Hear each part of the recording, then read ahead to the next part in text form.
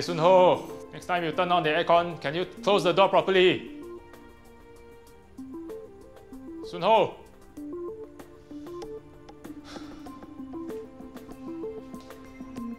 Sun Ho! Hey, Sun Ho, wake up! Sun Ho, are you okay?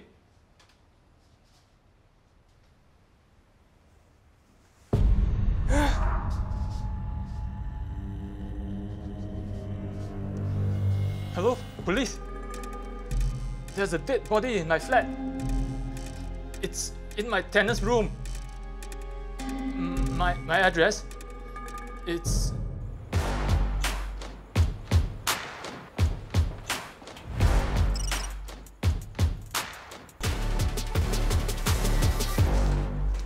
Sir, the person who made the report is Mr. Wong Shenki. He's the owner of this unit. When he came home at 8.20 p.m., he discovered the victim in his tenant's bedroom and called for the police. Paramedics were here earlier and pronounced the victim dead at scene. Do we know who the victim is? According to Mr. Wong, her name is Lee Xiaohua. Thank you. Hi, Mr. Wong. I'm Senior Investigation Officer Ray. May I ask you some questions? Okay. May we speak inside?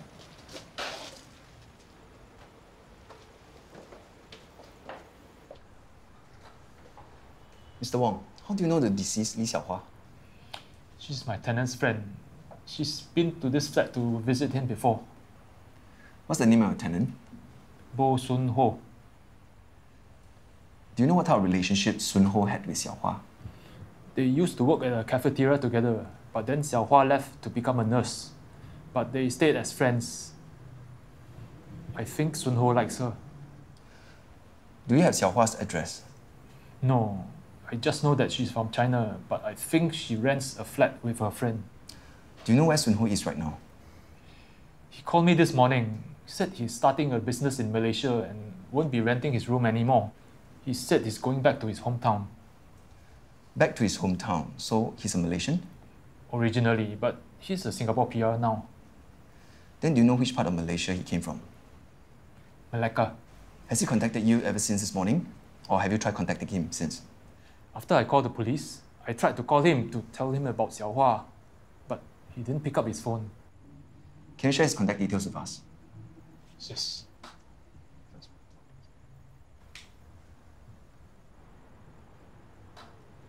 Thank you, Ms. Wong. Kelvin, check on Bo Sun Ho. See whether he have left the country. If so, when?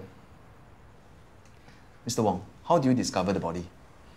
I came home from work. I saw that Sun Ho's door was slightly open and the light and aircon were on.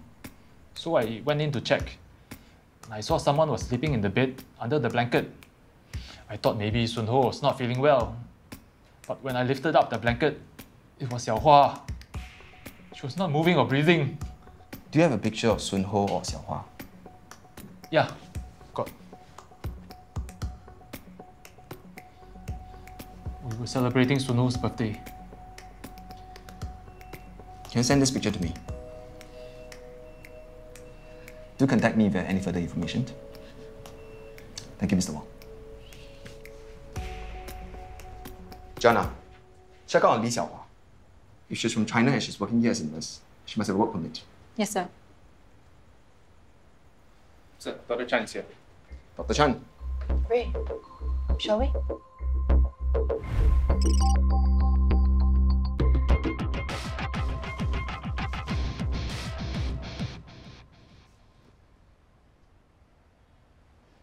From the rigor mortis, I estimate that her time of death is 24 to 36 hours ago. However, I have to do a full autopsy to be sure. how about the cause of death? The face is very congested, with pinpoint areas of bleeding under the skin all over. There are also marks on the neck suggesting some sort of force to the neck. So, strangulation? It could be, but I can't say definitively. Okay. Let me know when the autopsy report is in. Will do. You guys can process in now.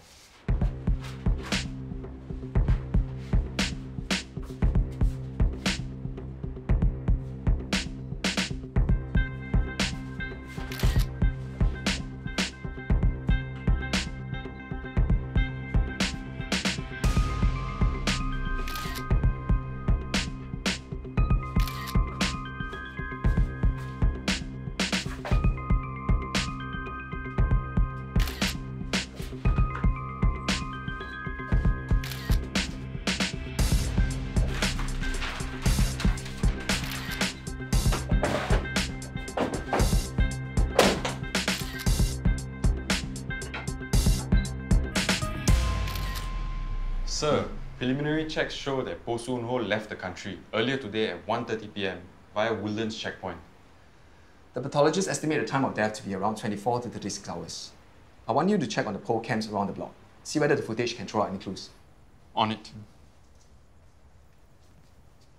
Sir, I tried calling Soon Ho, but his phone's off. An initial check shows that Lee Xiao Hua is a nurse at Tampines Regional Hospital. This is her registered address. Go to Lee Xiaohua's registered address. Speak to her flatmate and also her supervisor at the hospital. See whether they can tell anything that might help. Got it.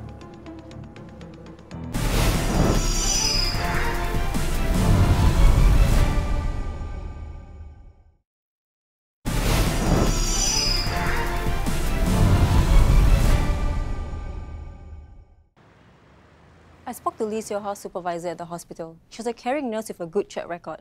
Her flatmates also said that she was a good person and didn't have any problems with her. When she didn't come home on the 21st of March, the day before the body was found, her flatmate wasn't worried because she thought that Lee Xiao Hua was staying over at a friend's place. The pathologist estimated that the murder happened between 24 and 36 hours from the time the body was discovered. According to the timeline, Mr. Wong said that he was at work. And after work, he stayed overnight at his mother's flat as she wasn't feeling well. I spoke with Wong's employer and mother. His story checked out. The autopsy report just came in. The cause of death was manual compression of her neck. The mark on her neck were very faint, and there's no obvious sign that ligature was used. The pathologist also cannot rule out that he used his hands. Kevin, any updates on the pole cams? Yes. Pole cams at Soon Ho's block show Lee Xiaohua entering the lift at about 1 pm on 21st of March.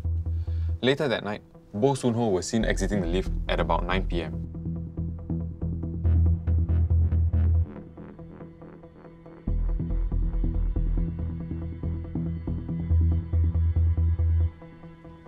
He was seen returning with a white suitcase at close to 11 pm.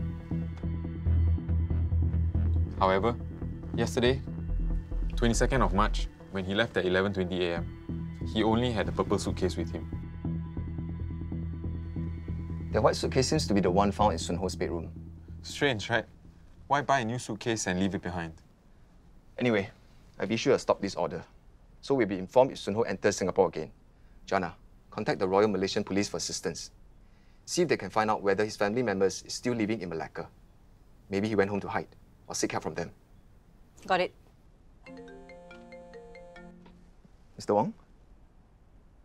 Okay, just relax. Tell me what happened.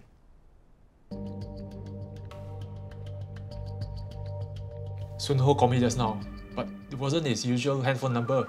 It's a Malaysian number I've never seen before.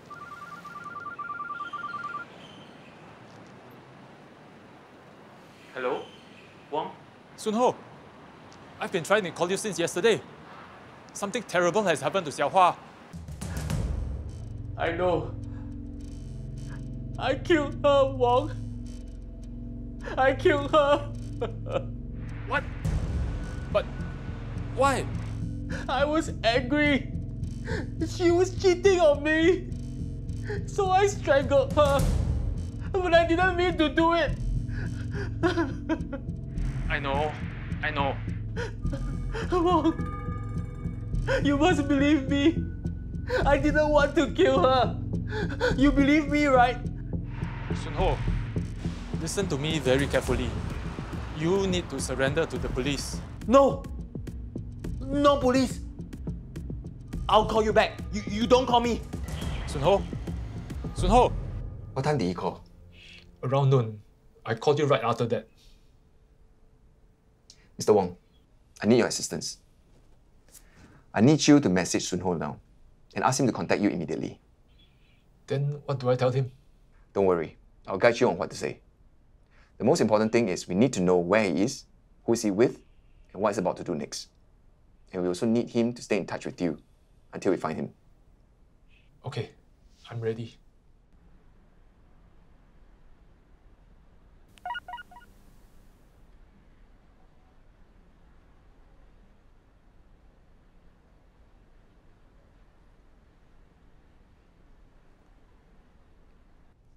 Sun Ho, I'm so happy you called. I'm worried that something will happen to you. Wong, I'm scared. I, I just need some money to run away. Can you help me? There is no point in running. Come back and surrender. No! If I surrender to the police, I will be finished. Are you with your family? Maybe they can help you. No. They won't help me. I, I'm sorry. I have to go. If you are not with your family, where are you? In Malacca, in a hotel. Don't run, okay? I will think of something and message you. You wait for my message, okay? Okay. Bye. Thank you for your assistance, Mr. Wong. Any updates? Yes, the Royal Malaysian Police have located Bo Soon Ho. He's currently staying in a hotel in Malacca. They advise on him. Okay, I'll get a warrant of arrest. You guys go home, pack your bags. We leave tonight. Got it?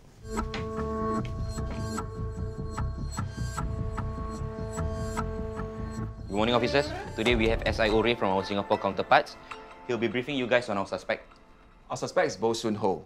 We believe he's responsible for the death of young women in Singapore. He's been on the run since 22nd of March. We've been surveilling our suspect since yesterday. He's currently staying in room 3 at Ming Hotel along Jalan Zrantut in Malacca. We have men covering all the escape routes. All clear? Yes, sir!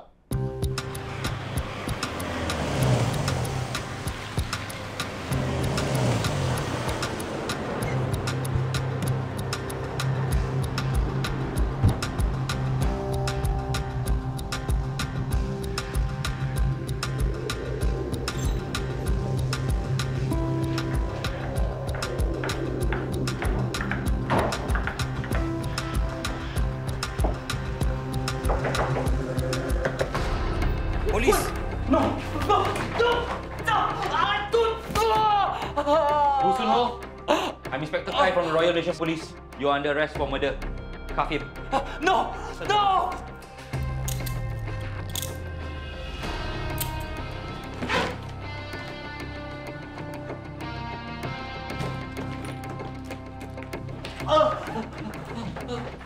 Inspector?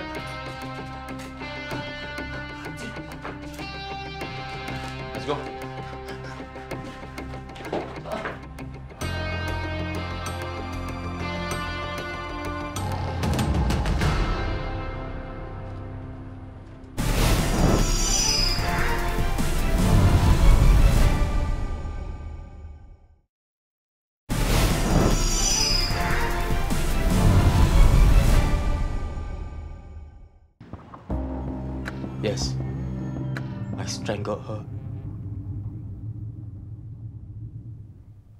But I didn't mean to do it.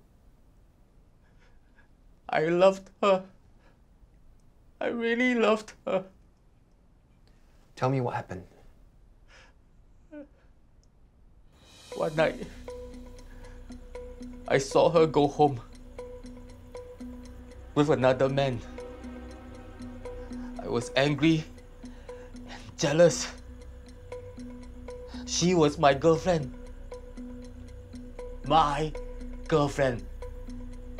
I paid everything for her. I paid for the food. I paid for her shopping. How can she go out with another man? So I invited her to my house for lunch to ask her about it. “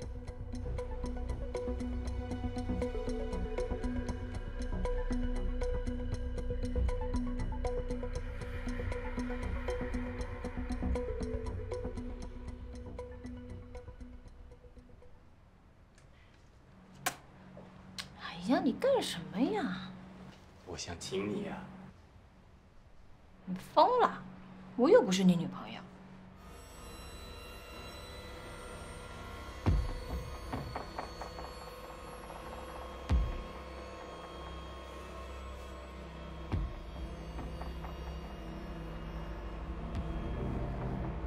昨晚和你回家的那个男人，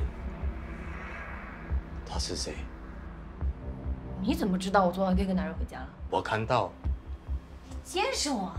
你真的疯了吧？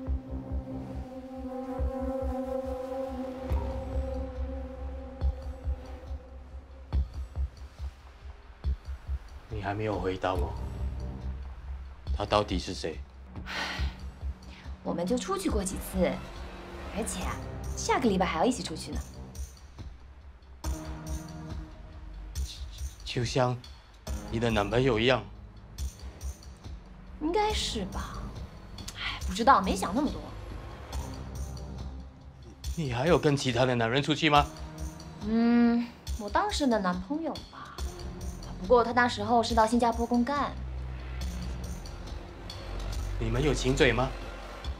这是什么问题啊？有亲嘴吗？有，我们亲嘴啦，而且啊，还不只是亲嘴。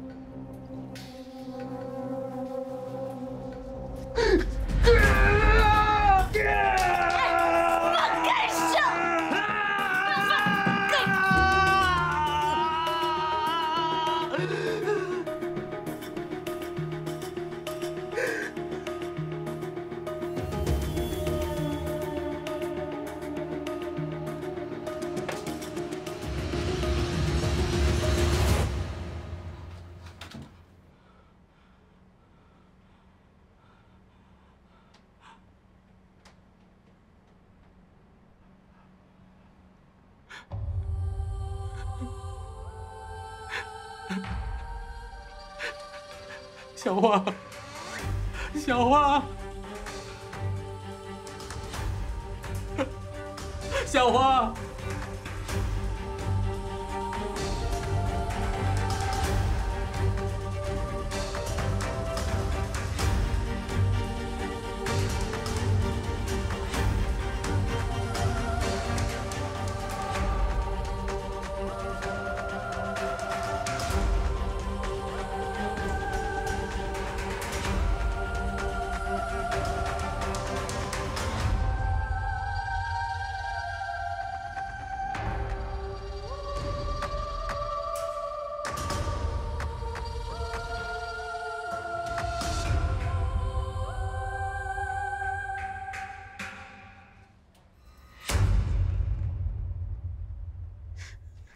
And then what happened?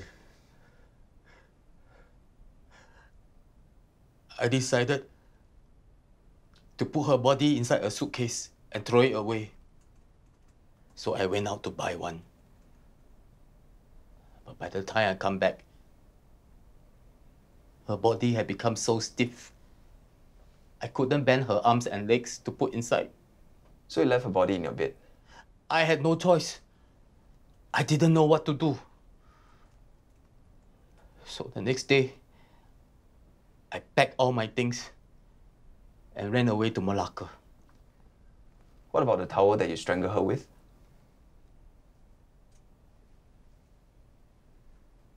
I threw it away in Malaysia. Can't remember where. The money and handphone were missing. What happened to them? I took the money and I spent it. All of it. The handphone, I also threw in Malaysia. Not sure where. Bo Soon Ho was convicted of murder and sentenced to life imprisonment.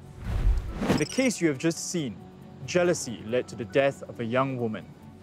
Working tirelessly round the clock, investigation and forensic officers from the Criminal Investigation Department conducted extensive ground investigations to ascertain the identity of the murder suspect. Close cooperation with forensics experts from the Health Sciences Authority and Royal Malaysia Police were also instrumental in bringing the accused to justice.